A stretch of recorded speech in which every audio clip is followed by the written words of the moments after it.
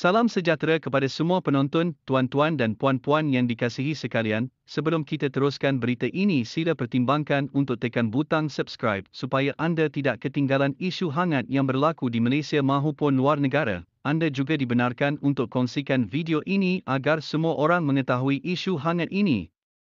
Baiklah, isu hangat hari ini ialah Bekas Menteri Kewangan kedua Ahmad Husni Muhammad Hanazlah memberi keterangan hari ini bahawa dia cuba memberi amaran kepada bekas Perdana Menteri Najib Razak mengenai penubuhan 1MDB tanpa kajian boleh laksanaan.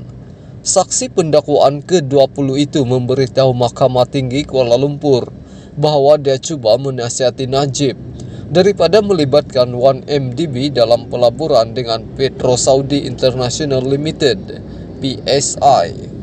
Bagaimanapun bekas ahli parlimen Tambun itu mendakwa Najib yang merupakan Perdana Menteri dan Menteri Keuangan ketika itu tidak mengendahkan nasihatnya berhubung 1MDB. Saya menyatakan bahawa 1MDB tidak mempunyai pengalaman dalam bidang itu dan ia hanya perlu diberikan kepada syarikat minyak nasional Malaysia iaitu Petronas.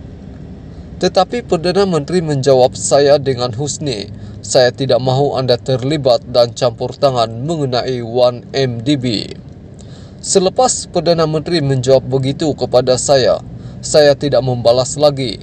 Saya mengesahkan bahawa pertemuan antara saya dan Perdana Menteri adalah di pejabat Perdana Menteri dan sejak itu, saya langsung tidak terlibat dalam sebarang keputusan atau dimaklumkan mengenai pelaburan berkaitan 1MDB dakwa Husni mengenai pertemuan 2009 itu. Saksi itu memberi keterangan semasa perbicaraan rasuah 1MDB bernilai RM2.28 bilion terhadap Najib petang tadi. Sebelum ini semasa perbicaraan berasingan kes rasuah RM42 juta SRC Internasional terhadap Najib pada 19 Ogos 2019, Husni selaku saksi pendakwaan turut memberi keterangan bahawa Najib memberitahunya untuk tidak terlibat dalam 1MDB. SRC adalah bekas anak syarikat 1MDB.